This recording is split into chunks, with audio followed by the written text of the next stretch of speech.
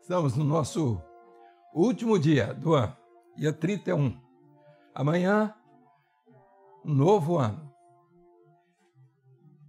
De um modo geral, quando chegamos ao final de um ano, nós sempre fazemos alguma coisa para melhorar aquilo que nós esperamos que melhore no outro ano. A primeira coisa que nós fazemos é rasgar aquelas coisas antigas, coisas velhas, aquilo que não serve, nós tiramos do nosso calendário, dos nossos arquivos, jogamos fora. E hoje, hoje é um dia especial para a sua vida. Não espere. O texto que está em Joel é um apelo. Agora um apelo. Joel 2:12 para essa hora. Diz o seguinte: Ainda assim, agora mesmo diz o Senhor: Convertei-vos a mim de todo o vosso coração.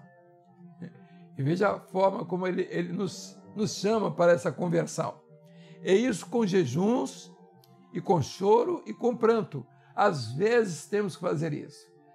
Quando falamos em jejum, nós, é um propósito que se faz diante do Senhor, de um tempo, de um momento. Você deixou o alimento por uma hora a mais, você pode prolongar duas horas a mais dentro daquilo que é a sua capacidade. Você está escolhendo o Senhor aquilo que é o material, que é o alimento. É um esforço que você faz. Não preciso fazer isso sempre, mas nesse momento, espere um novo ano assim, com choro, com pranto. Onde é que você errou? Onde é que as coisas ficaram erradas na sua vida, na sua casa, na sua família, com os seus queridos, com os amigos, vizinhos, parentes, trabalho, ocupações. Nós estamos sempre em atritos. Mas é preciso um dia colocar as coisas em ordem e ver se a gente pode melhorar isso. Hoje, com essa convivência que estamos tendo de casa, é? de família, todos juntos ali e agora com muito mais cuidado ainda. Este final de ano tem sido preocupante. Vamos atender, vamos orar ao Senhor, vamos pedir uma bênção. Ore pela sua casa, pelo seu esposo, pela sua esposa, pelos seus filhos, seus familiares.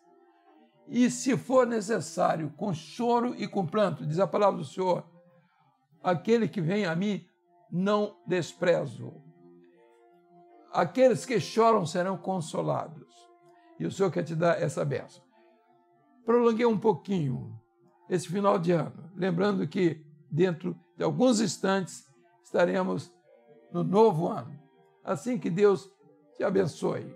Logo mais estaremos reunidos aqui através do, das redes sociais do Igreja Cristã Maranata, via satélite, também pela televisão, é, televisão às 11h30 da noite. Mas antes, temos uma programação de cultos, de mensagens, de glorificação ao Senhor.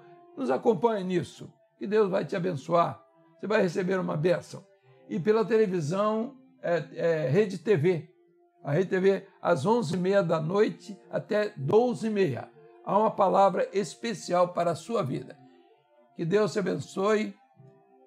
Prepare-se para o novo ano, observando tudo aquilo que é a necessidade sua para esse momento.